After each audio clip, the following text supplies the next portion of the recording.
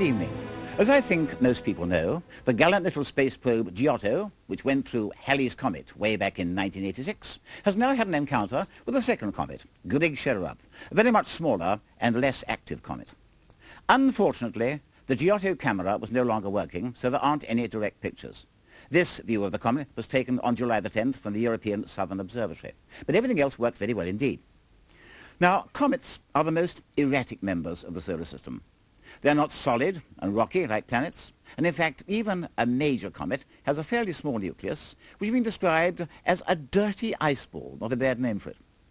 Only when the comet nears the sun and the ices are warmed do they start to evaporate, and the comet then produces a head or coma, and very often a tail or tails. Now, I don't pretend to be a comet expert, so let me welcome back somebody who is, Dr. John Mason. John, welcome back to the Sky at Night. First of all, what do you think of this latest encounter? Well, it was a remarkable success, both for the European Space Agency and for all the scientists involved.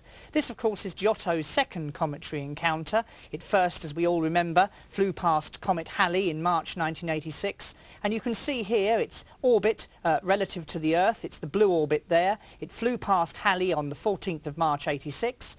It then made uh, a flyby of the Earth in July 1990. Its orbit was tweaked slightly, so it went outside the Earth. And you can see that it then uh, rendezvous with Grigg-Skjellerup, the yellow curve, on the 10th of July.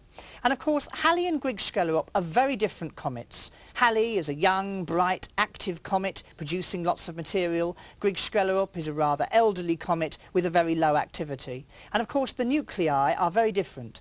Halley is rather large, about 16 kilometres long by about 8 kilometres wide on the right here. That of Grigg-Skjellerup is very small, about half to one kilometre. And of course the flyby velocities were much less in the case of Grigg-Skjellerup, 14 kilometres per second as against 68 kilometres per second.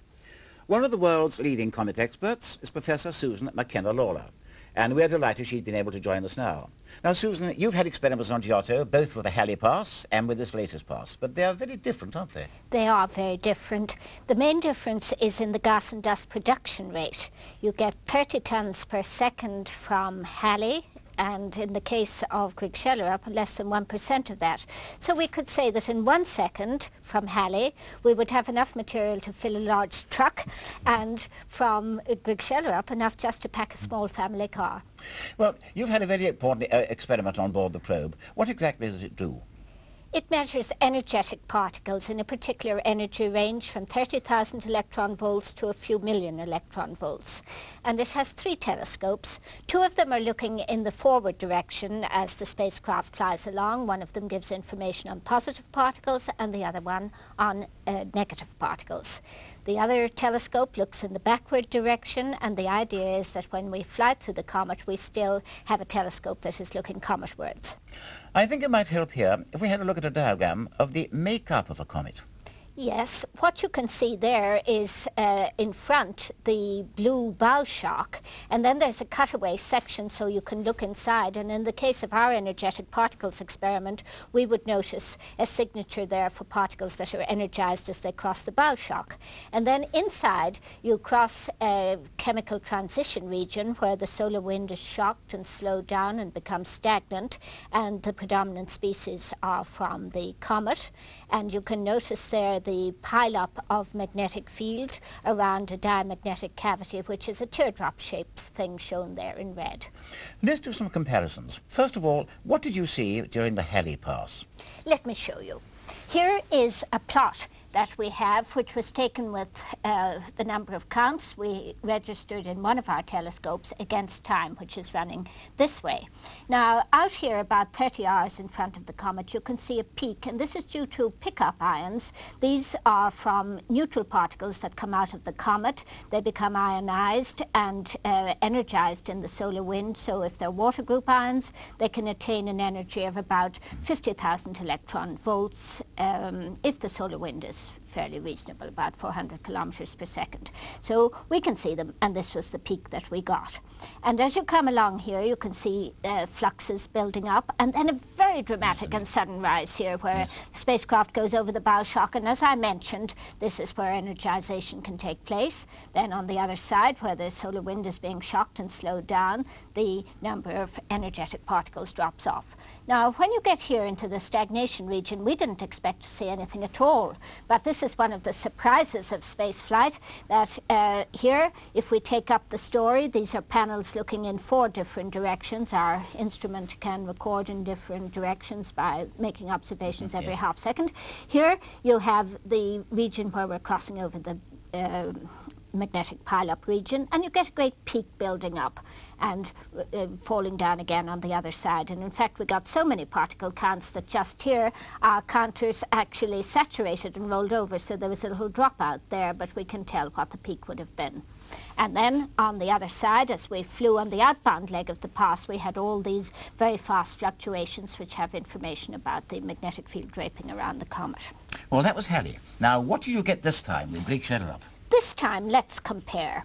Here we have uh, the data that we got as we were flying in towards the comet. Now here are the four directions. The different channels are shown in colors. Let us take this panel here. Red is the lowest energy. It would be about uh, 50,000 electron volts. This one about 100, this one about 150. And you can see that there's no great peak here from the pickup ions. It's all going along fairly steadily and probably just a very few uh, pickup ions superimposed on solar wind protons. Here there's a very interesting thing is happening where the fluxes drop down and then if we go this way we are coming in towards closest approach and let's switch to this plot here. This plot shows counts against distance from the nucleus. And at this point, when we reach about 17,000 kilometers out from the nucleus, we begin to get a peak. And this is where we went over the bow shock of this comet, we believe. Do you think it goes smoothly?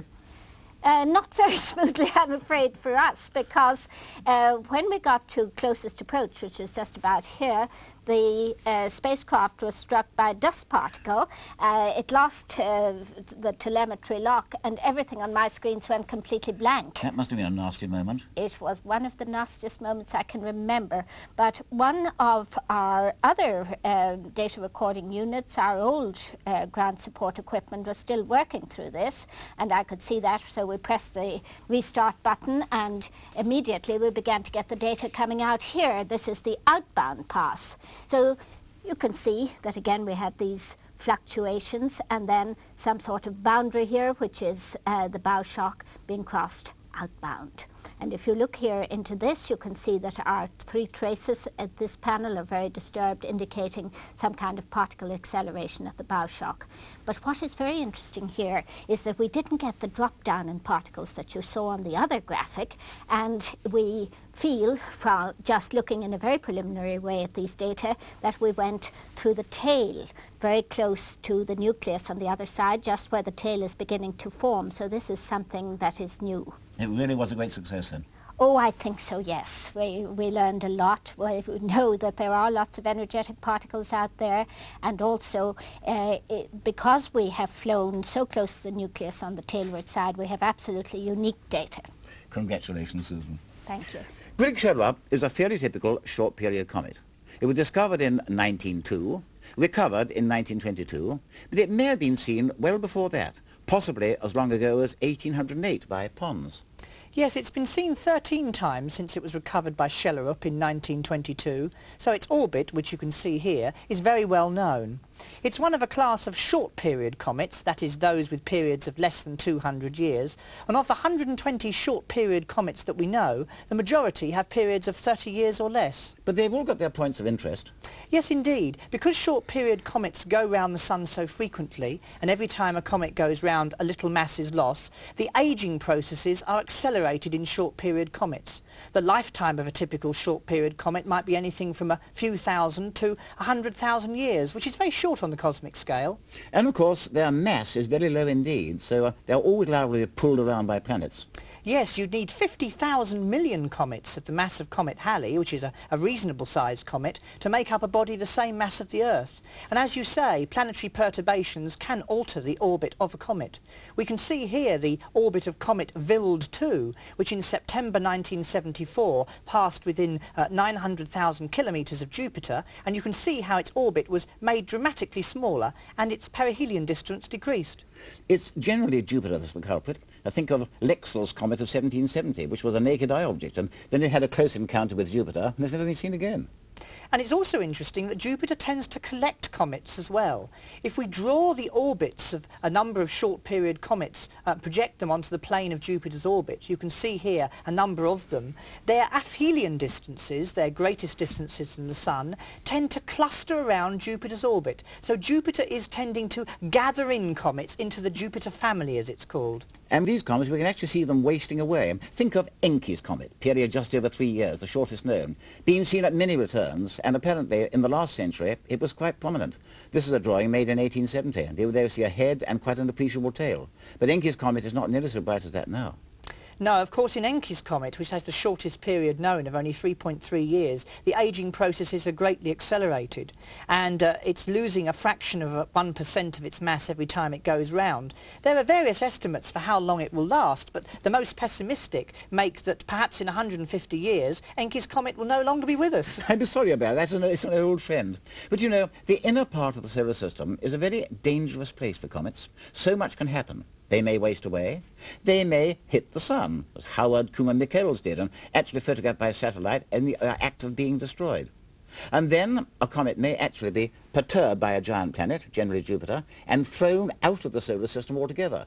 And that happened with comet Arend-Roland of 1957, the subject of our very first Sky at Night program. That will never come back. And of course, there's activity also in cometary nuclei. They may flare, or they may very often fade. Yes, the surface activity of a comet's nucleus is very complex. The surface is covered with a dark dust crust or mantle, and where there are cracks and fissures in this crust, the underlying dirty ice is exposed to the sun's radiation and heat, and the ice sublimates, forming the gas and dust jets which spurt out. And occasionally the force of these jets breaks off sections of the mantle, and the comet flares dramatically in brightness. One example of this was comet Tuttle-Giacobini-Kresak, you can see here that faint trail of the comet. But in May and July of 1973, it brightened by 10,000 times, so there was a tremendous outburst there. And of course, the opposite can also occur. Sometimes a comet will be missed for several returns, and it will fade, or it may even break into a number of fragments. Well, I suppose the most famous case of that is Biela's comet. 1845, it split in two and the twins came back again uh, in 1852, and uh, they certainly don't exist. They've never been seen again. They've broken up. No, I mean, Biela's comet had a period of six and three-quarter years, so it was one of these short-period comets. And after it broke into two, as you say, it was seen again in 1852. The two components were further apart, and it was never seen again, although there were two spectacular displays of shooting stars or meteors in 1872 and 1885 connected with the disruption of the comet. And more recently, the Great Comet West of 1976, that beautiful comet. It was, it was indeed. That, the nucleus of that was seen to split into five fragments in March of that year. There are at least eight periodical comets seen in the last century which used to return regularly and have now been lost, probably because they've disintegrated. On the other hand, it may be that we lose some comets simply because we don't know their orbits sufficiently well. And one of those could be Swift-Tuttle, seen for the only time in 1862 when it was quite bright. And Swift-Tuttle is of special interest because it's the parent comet of the Perseid meteor stream. And next month is Perseid time. Yes, I mean, the Perseid shower is the most reliable of the annual meteor showers. This year it peaks on the early morning of August the 12th. And as you say, it is connected with the dust and the material ejected by Comet Swift-Tuttle. You can see those drawings there of the dust, the fans ejected at the 1862 return. And this year, it'll be particularly interesting to watch the Perseids, although there will be interference from moonlight. Yeah. Last year, Japanese observers recorded, recorded an intense burst of activity, and it'll be interesting to see if that happens again. I wonder. Now, but what about Comet Swift-Tuttle? Well, of course, we only have seen it once for certain the return of 1862. And if you can see here, in 1862, the comet passed perihelion on August the 23rd, and the Earth and the comet were fairly close to each other. So it was a spectacular object, it was visible to the naked eye, and at the end of August it had a very respectable tail. And the head of the comet was bright, there were fans and jets of dust, as you can see here. So the uh, actual comet itself was uh, a spectacular object. But of course, whether it will return again is another very interesting point. It was assigned a period of 120 years based on observations in 1862, so it was expected back between 1981 and 83, but it wasn't seen. Can it have come and gone unseen? Well, that is possible. If we look at the orbit of Comet Swift-Tuttle, we see that, of course, it's uh, got an orbit of around about 120 years, so it's quite a large orbit. It goes out way beyond the furthest planets, spends most of its time below the plane of the planets, and there is its orbit shown on that diagram with the other planets to scale. And this model here shows the inner part of the orbit um, of Swift-Tuttle. There's the orbit of Swift-Tuttle coming over there. This is the orbit of Jupiter. That's the orbit of the Earth with the Sun in the middle. Now, when the comet reaches perihelion, closest points to the Sun, about there, it passes down through the descending node where it crosses the Earth's orbit a bit later. Now, if a comet reaches the descending node in August or September, the Earth is fairly close to it, we get a good view of it, the comet will be a bright naked eye object. But if the comet passes perihelion in January or February, the Earth and the comet will be on the opposite sides of the Sun, and we may well miss it completely.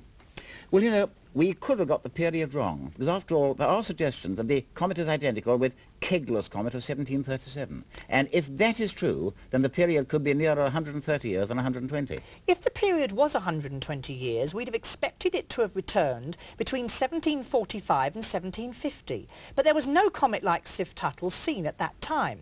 But there was a comet seen in 1737 by Kegler, a Jesuit missionary in China, and this looks very much like Swift-Tuttle. And if Comet Kegler and Comet Swift-Tuttle are one and the same, its period may be nearer 130 years rather than 120 years, so it could be back later this year. Well, if it does come back, where do you think we're going to find it? Well, it all depends when it comes to perihelion. Uh, if it comes to perihelion in November, then of course we will get a moderate view of it. You can see here on this chart it passes from the northeast through north over to the northwest and uh, passes through the bowl of the plough in mid-September. And it will be a reasonable object, probably visible in binoculars. But if it comes back two months early, in August or September, it'll be much brighter, visible higher in the sky, and could well be a reasonable object. But if it comes back two months later, in January of 1993, it'll be lower in the sky, its motion across the sky will be less, and we may well not see it at all. Well, what's your bet? My bet is that it, if it was coming back in August or September, it would have been found already. And the fact that it hasn't, I think, means that it's, if it's coming back at all, it'll be towards the end of the year or beginning of next year. So we may not see it. Meanwhile, you and I are going to have an energetic hunt for it, John. Let's Indeed hope we, we are. But the story of Giotto may not be over even yet. There's a chance that in a few years it may be possible to send it on to yet a third comet. And if so, Susan, do you think your experiment is still going to go on working? Our experiment has worked beautifully for the last seven years. In 1985-86 it worked on the way to and at Comet Halley. In 1990 it worked during the historic Earth flyby because you know Giotto was the first working spacecraft that we encountered the Earth from deep space. And then it worked in 1992 at Grigg Skjellerup. So would it work if it was called upon again? Why I- not? I'm sure it will. Many congratulations. I, let's hope that Giotto does go on to another comet and that our experiment continues to work. Susan, thank you very much indeed. And meanwhile, let's hope that um, sometime within the next few months we can report the discovery or rediscovery of Swift-Tuttle. I very much hope so. Also, don't forget our phone line. If you want the latest information about astronomy, then dial 0898 666 000 and we'll tell you what's going on. Next month, we have a very interesting program about who really invented the telescope. Until then, good night.